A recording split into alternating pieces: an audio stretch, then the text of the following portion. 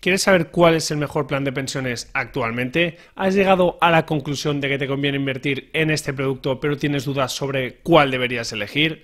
Pues no te preocupes porque hoy vamos a dar la respuesta a todas esas preguntas. Hola, muy buenas a todos y bienvenidos un día más a Invertir para conseguir. En capítulos anteriores hablamos sobre los planes de pensiones indexados y vimos por qué eran una muy buena herramienta para hacer crecer nuestro capital invirtiendo a largo plazo y también para ahorrar dinero en impuestos con ellos. Pues bien, como hubo bastante interés sobre el tema, hoy vamos a hacer una comparativa entre los mejores planes de pensiones que tenemos disponibles actualmente en el mercado, para que así podáis elegir el que más os convenga. Primero analizaremos de forma individual los planes de pensiones que ofrecen MyInvestor, Indexa Capital y Finicens, que son las entidades que tienen una oferta más interesante según mi opinión. Y luego, al final del vídeo, pondremos toda esa información en perspectiva comparando los diferentes planes indexados que hemos visto y os compartiré mi opinión personal sobre cuál es el mejor plan de pensiones en cada caso. Hoy os traigo una comparativa analizando los mejores planes de pensiones del mercado. ¿Cuál elegimos? Prepárate porque empezamos.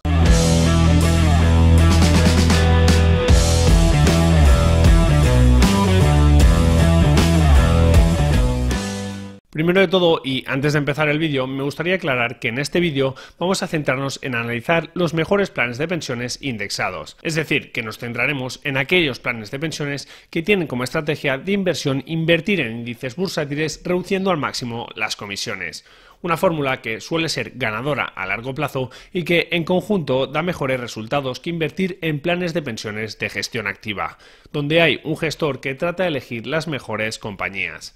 Y una vez dicho esto, empecemos con los mejores planes de pensiones viendo qué nos ofrece MyInvestor, el neobanco de Ambank especializado en inversión. Y en el caso de MyInvestor, la verdad es que la oferta que tenemos es muy interesante. Como podemos observar, aquí tendríamos dos planes que son exclusivos de MyInvestor, es decir, que estos planes de pensiones tan solo los podremos contratar aquí, y son los que lanzaron a finales de 2020. Aunque, por otro lado, también nos ofrecen planes de pensiones de otras gestoras, entre las cuales, por ejemplo, podemos ver Indexa Capital. Pero bueno, en nuestro caso nos centraremos en los dos planes indexados de MyInvestor. Y lo primero que tendríamos que destacar sin duda de estos planes de pensiones indexados son las comisiones que tienen. Como veis, MyInvestor nos cobrará como máximo un 0,49% anual, lo que sería las comisiones más bajas de España. Y es que MyInvestor se compromete a asumir cualquier sobrecoste que pudiera haber respecto a ese porcentaje. Y luego, pues otro hecho muy relevante es que podemos invertir en estos planes de pensiones tan solo desde 10 euros. Y además, pues también podremos hacer aportaciones periódicas, por ejemplo, de forma mensual, hasta llegar al máximo legal. Así que, por lo que respecta a las condiciones de inversión que ofrece MyInvestor, estas son difíciles de superar. Pero, ahora bien, ¿en qué invierten estos planes indexados? Pues vamos a verlo. Primero de todo, tenemos que tener claro que los dos planes de pensiones son 100% renta variable y es por eso que tienen un perfil de riesgo tan elevado. Luego, también es interesante saber que ambos utilizan ETFs para realizar sus inversiones. Por un lado, tenemos el plan de pensiones MyInvestor indexado SP500, que invierte en la bolsa americana y utiliza 7 ETFs. El índice bursátil SP500 es uno de los más populares del mundo y que ha sido más difícil de superar por los inversores históricamente, ya que incorpora las 500 empresas más importantes de los Estados Unidos. Un conjunto de compañías que va variando, pero que suele ofrecer muy buenos resultados. Y actualmente, pues incorpora nombres como los que podéis ver en pantalla. Pero bueno, aunque el plan de pensiones se llame SP500 y estas empresas sean las más importantes dentro de la cartera, la verdad es que este plan de pensiones también incluye compañías más pequeñas, compañías tanto de mediana capitalización como de pequeño market cap. De esta forma, el plan consigue invertir prácticamente en toda la bolsa americana. Por otro lado, tendríamos el plan de pensiones MyInvestor indexado global, que, como su propio nombre indica, invierte de forma global en diferentes países del mundo. El objetivo de este plan de pensiones es el de invertir en países tanto de mercados desarrollados como de mercados emergentes, dándole más peso a aquellas empresas o zonas geográficas que tienen una mayor importancia en los mercados. Y para lograr ese objetivo, el plan de pensiones invierte en hasta 12 ETFs diferentes como los que podemos ver en pantalla, y tiene la distribución por países que podéis ver. Genial, ahora ya hemos visto los planes indexados de MyInvestor, así que ya puedes darle un buen like al vídeo y suscribirte al canal si te está gustando este contenido. Pero lo que no puedes hacer es irte, porque aún tenemos que ver los planes de pensiones que ofrecen Indexa Capital y Finicens y cuál de todas estas opciones es la mejor en cada caso. Así que permanece atento porque ahora seguimos hablando de los mejores planes de pensiones. Por su parte, Indexa Capital se presenta diciendo que ofrecen las carteras de planes de pensiones con las comisiones más bajas. Es decir, que su propuesta de valor no es que inviertas tan solo en un plan de pensiones, sino que lo hagas invirtiendo en una cartera formada por dos planes de pensiones. Uno, que sería de acciones globales, el Indexa más rentabilidad acciones, y otro de bonos globales, el Indexa más rentabilidad bonos, con unos porcentajes que variarán en función del perfil inversor de cada individuo. Es decir, que si tú, por ejemplo, tienes una tolerancia al riesgo mayor, ya sea porque tu situación te lo permite, porque eres más joven, etcétera, podrías tener una cartera formada hasta con el 100% de acciones. Mientras que si por otro lado eres un inversor más conservador y tu perfil de inversor es menos arriesgado, pues podrías tener tan solo hasta un mínimo del 10% de acciones y el resto pues iría a bonos. De la misma forma que ocurría con MyInvestor, los planes de pensiones de Indexa también utilizan ETFs indexados para invertir. Pero eso sí, en este caso, las carteras de planes de pensiones de Indexa Capital tienen un coste algo superior, puesto que este es del 0,61% anual de media. Aunque por supuesto tenemos que tener presente que estos costes siguen siendo realmente bajos y que Indexa también nos ofrece una cartera que se ajusta a nuestro perfil inversor. Antes de empezar a invertir en planes de pensiones con Indexa Capital, el RoboAdvisor nos hará un cuestionario de 11 preguntas para recomendarnos nuestro plan optimizado. Es decir, para saber cuál es nuestro perfil de inversor y así podernos recomendar una cartera u otra. Os dejo el link a este cuestionario para que podáis invertir con Indexa Capital en la descripción del vídeo. Y una vez hemos respondido ese cuestionario, pues Indexa ya nos asignará una de estas 10 carteras según nuestro perfil de riesgo. Ok, todo esto está muy bien, pero ¿dónde invierten realmente los planes de pensiones de Indexa Capital? ¿Qué ETFs utilizan? Pues vamos a verlo ahora mismo. Y estos serían todos los ETFs que utiliza Indexa Capital para su cartera de planes de pensiones por lo que respecta a la renta variable. Como veis, tendríamos un primer ETF que sería de acciones globales, luego tendríamos tres más de Estados Unidos, puesto que es la región que más pesa en las bolsas mundiales, luego dos más para invertir en las bolsas europeas, uno extra para invertir en acciones de Japón y después uno para invertir en países emergentes. Así que, como vemos, tendríamos una cartera de acciones muy bien diversificada que invertiría prácticamente en todo el mundo y además le asignaría los pesos correspondientes según la importancia que tengan las diferentes regiones en el mercado bursátil.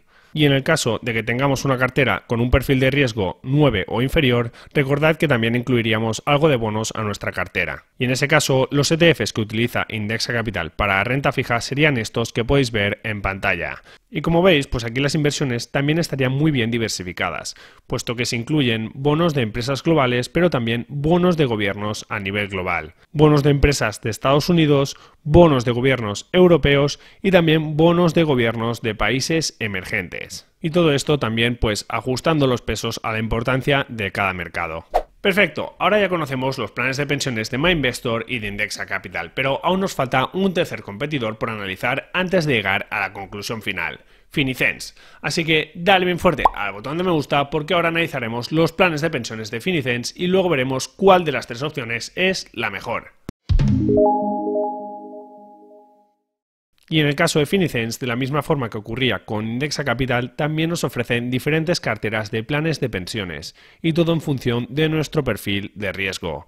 Pero antes de entrar en detalle sobre las carteras de Finicens, veamos los costes de las mismas. Respecto a los costes de invertir en planes de pensiones con Finicens, por aquí tendríamos el desglose de todos y cada uno de los costes. Y si hacemos la suma de todos ellos y teniendo en cuenta que el año pasado el apartado de otros gastos ascendió hasta el 0,12%, podríamos decir que las carteras de Finicens tienen un coste aproximado del 0,65%. Y ahora volvamos a la sección de carteras para ver qué nos ofrecen por ese precio. Y bien, como podemos ver aquí, tendremos cinco carteras diferentes según nuestro perfil inversor. Es decir, que nos realizarán un cuestionario con diferentes preguntas para saber si nuestro perfil es más tolerante al riesgo o menos. De esta forma, la cartera 1 sería la más conservadora, teniendo un 83% de renta fija, y la más atrevida sería la cartera 5, que tan solo tiene un 18% de bonos. Y aquí ya hemos podido ver la primera diferencia de las carteras de planes de pensiones de Finicens respecto a las de Indexa Capital o MyInvestor. Y es que Finicens no ofrece una cartera 100% de renta variable, sino que siempre incluye renta fija, incluso para los inversores más atrevidos. Si analizamos la composición de la renta fija, vemos como esta está muy diversificada, puesto que se incluyen bonos de gobiernos europeos, bonos de empresas europeas y también bonos a nivel global. Y lo mismo ocurre con la renta variable, en la que se utilizan diferentes ETFs para invertir en las diferentes zonas geográficas, como son Estados Unidos, Europa, Japón y países emergentes. Y todo ello otorgando un peso en función de la importancia que tengan sus mercados bursátiles. Pero ojo porque aquí llega la sorpresa de Finicens. Como veis, incluye otra sección aquí que pone bienes reales. Y es que Finicens incluye en sus carteras de planes de pensiones un ETF extra para invertir en el sector inmobiliario a través de REITs que son empresas del sector que cotizan en bolsa. Y luego, además, también incluyen un ETF de oro físico. Es decir, que por lo que respecta al número de activos diferentes que hay en cartera, podemos decir que la cartera de Finicens es la más diversificada, ya que incluye un ETF de oro. Y además, pues también le otorgan un peso extra a la inversión en rates, algo que también tenemos en MyInvestor y en Indexa Capital, pero que no hacen a través de un ETF exclusivo como en este caso. Y ahora sí que sí, ya conocemos los tres mejores planes de pensiones indexados, así que vamos a recopilar toda esa información que hemos analizado para ver cuál es el mejor plan de pensiones en cada situación. ¿Cuál es el mejor plan de pensiones y cuál te interesa más contratar? Pues veámoslo en la conclusión final. Primero, me gustaría dejar claro que las tres opciones me parecen muy buenas opciones y que si ya tienes una cuenta con alguna de estas entidades, puedes ir a lo fácil y simplemente abrirte el plan de pensiones con ellos. Pero si aún no tienes una cuenta creada con ninguna de estas tres opciones o quieres ir un paso más allá, permanece muy atento hasta el final de esta comparativa. Y también recuerda que en la descripción del vídeo tienes los enlaces con las últimas promociones disponibles para que puedas empezar a invertir. Así que, teniendo en cuenta la información sobre los distintos planes de pensiones que hay resumida en esta tabla, y aunque no haya una respuesta correcta, yo recomendaría hacer lo siguiente. Primero, ten en cuenta que la inversión mínima para acceder a las carteras de Indexa Capital es de 2.000 euros. Así que si quieres invertir menos dinero, tendrás que decantarte por MyInvestor desde 10 euros o Finicens desde 50 euros. Luego, también ten en mente que si no te gusta para nada la idea de invertir en renta fija y quieres una cartera 100% renta variable, tendrás que elegir entre MyInvestor o Indexa Capital, ya que, como hemos comentado antes, Finicens incluye renta fija en todas sus carteras. Entre estas dos opciones, la opción de MyInvestor es algo más barata tanto si eliges invertir en el plan de pensiones del SP500 o en el plan global. Y además he estado investigando un poquito más a fondo y el plan de pensiones global de MyInvestor es el que mejor se ajusta al índice global MSCI World AGWI, que incluye tanto empresas de países desarrollados como de países emergentes. Y es por eso que yo personalmente me he decantado por esta opción.